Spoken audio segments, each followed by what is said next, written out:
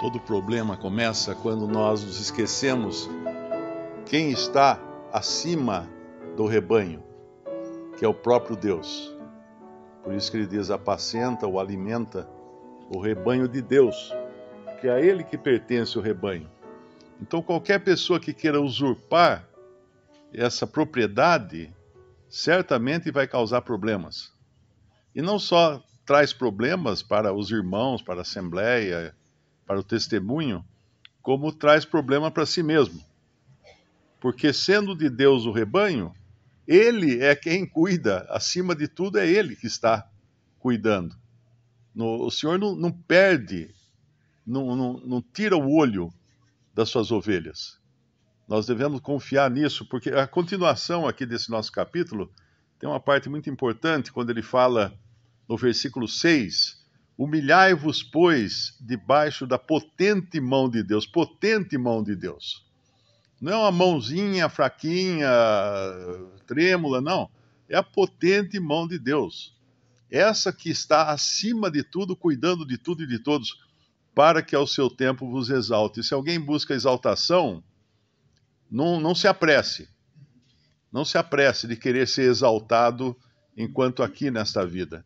A exaltação virá quando as coroas forem distribuídas. Aqui nos fala no versículo no versículo 4. E quando aparecer o sumo pastor, alcançareis a incorruptível coroa da glória tem várias coroas que são prometidas uh, na, na palavra de Deus e são prêmios, né? Tem a, essa coroa da glória, tem tem outras que lá em, lá em Tessalonicenses ele fala coroa de gozo, tem em 2 Timóteo fala de coroa da justiça, coroa da vida, em Tiago, capítulo 1, versículo 12, e também em Apocalipse, e aqui essa coroa da glória. Uh, cada uma tem uma, uma característica, não é? Mas são recompensas, não são salvação. Coroa é recompensa, é prêmio. E no final das contas, mesmo recebendo essas recompensas, essas coroas, o que vai acontecer no final? Nós vamos depositar essas coroas aos pés do nosso Senhor. E aqui no nosso, no nosso capítulo, de 1 Pedro 5, então, no versículo 6, humilhai-vos, pois debaixo da potente mão de Deus, para que a seu tempo vos exalte, aguardando dele somente qualquer reconhecimento do nosso, do nosso trabalho aqui, ou da nossa dedicação aqui, esperando dele, não dos homens. E também no versículo 7, que está, está ligado a esse versículo 6, lançando sobre ele toda a vossa ansiedade, porque ele tem cuidado de vós. Ansiedade é falta de fé. Ansiedade é falta de confiança, é desconfiança em Deus. Eu me lembro uma vez, eu trabalhava numa empresa e eu precisei viajar com outro diretor para Belo Horizonte, a gente tinha um, uma reunião lá, e esse outro, ele tinha medo, ele tinha pavor de viajar de avião. E foi a cena mais estranha que eu já vi na minha vida, porque nós sentamos, o avião decolou, ele agarrou no meu braço, ele estava do meu lado, ele agarrou no meu braço e começou a chorar. Dois homens de terno e gravata num avião, um agarrado no braço do outro, chorando. O que, o que, que, que imagem isso pode passar para as pessoas, né? Eu não sabia o que fazer, daí eu chamei a, chamei a comissária. A comissária veio, trouxe água e tudo. E aí ela falou assim: ó, se eu não quer fazer o seguinte, né? Vamos visitar a cabine. Aí o piloto explica para você todas as coisas, tal. Daí ela, ela levou ele para a cabine. Aí eu que, eu que tive vontade de chorar, né? Porque vai saber o que, que ele iria mexer lá na, lá na cabine. Mas quando você conhece aviação, você conhece avião, você sabe o que está por trás daquela máquina, você confia porque você sabe que tem muita coisa que está acima do seu poder. Então, quem conhece a tecnologia de um avião, por exemplo, sabe que não vai entender tudo, que existe muita. Todos os comandos são duplicados, e, e, e um piloto, por exemplo, o treinamento que um piloto recebe é, é muito, muito sério, muito completo. Então, quando você conhece que quem está acima daquela viagem, falando agora no sentido material da coisa, né? É alguém muito mais competente que você e a máquina é uma máquina muito mais perfeita que o seu carro. Então aí você descansa. Você sabe que não, não, tem, não tem o que possa acontecer que não esteja no controle, né, teoricamente falando, do piloto e da máquina, e da qualidade da máquina e da qualidade da qualificação do piloto. E nós, nessa vida, nós temos um piloto que é o piloto de todos os pilotos. Ele, ele certamente cuida de nós. Então, se eu acho que pode falhar alguma coisa e fico ansioso por causa disso, é porque eu estou achando que ele não está cuidando de mim. Lançando sobre ele toda a vossa ansiedade, porque ele cuidará de vós? Não, ele tem cuidado de vós. Já está acontecendo esse cuidado.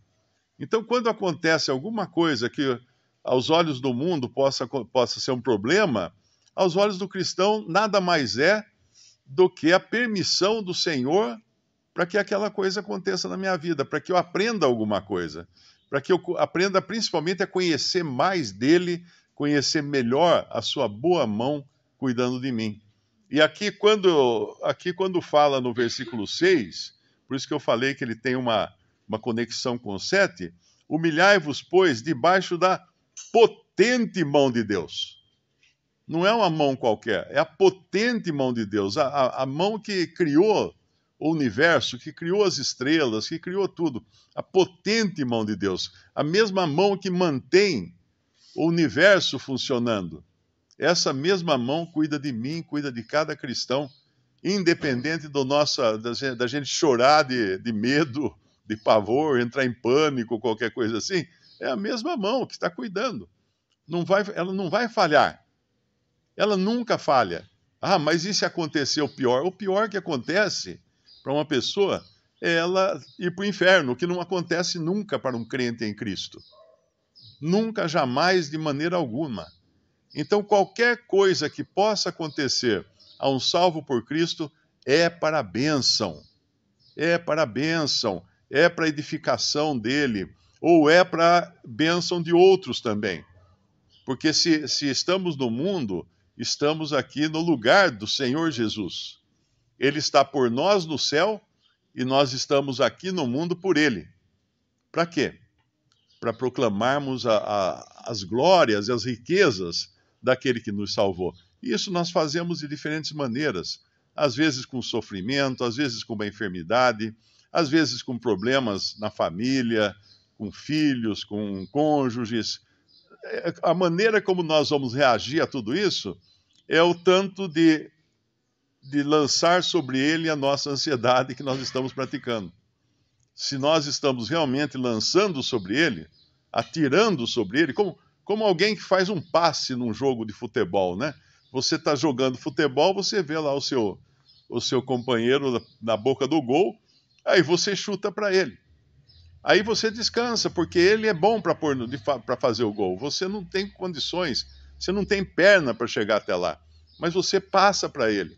Então a gente passa, a gente faz o passe para o Senhor para que ele cuide de nós, lançamos sobre ele a nossa ansiedade e lançamos de verdade mesmo. No, não é teoricamente, não. É de verdade. Aí a gente descansa. Aí é como se ele nos levasse para a cabine para mostrar. Ó, vou levar você para a cabine. Eu vou mostrar como é que funciona isso aqui. Ó. Você vai ver como você está seguro. Quanto instrumento que tem, quanta coisa que tem aqui e quanta competência tem no piloto e no copiloto para manter essa máquina no ar. É assim que deve ser a nossa relação com o Senhor. E quando vem o versículo o versículo 8, na sequência desse lançando sobre ele toda a vossa ansiedade, porque ele tem cuidado de vós, o versículo 8 vai falar de quem? Vai falar do inimigo das nossas almas. Sede sóbrios, vigiai, porque o diabo, vosso adversário, então temos um adversário, anda em derredor, bramando como leão, buscando a quem possa tragar, ao qual resistir firmes. Como? na nossa, no nosso conhecimento, na nossa capacidade. Não, na fé. Na fé. A fé é a ferramenta que Deus nos deu para vivermos nesse mundo. Vivemos de fé em fé. E fé é a certeza de coisas que nós não vemos, a certeza de fatos que, que nós não, não, não temos como apalpar. Isso é fé. A fé é um passo no desconhecido, ou no invisível, né, melhor dizendo.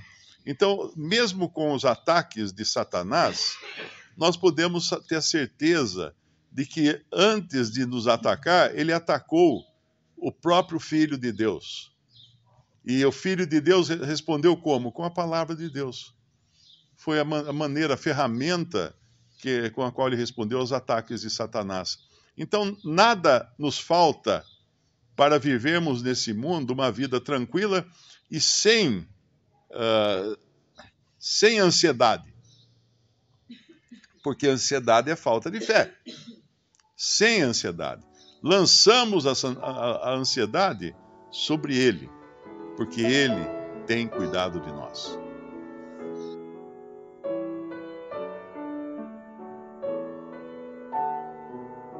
Visite respondi.com.br. Visite também 3minutos.net.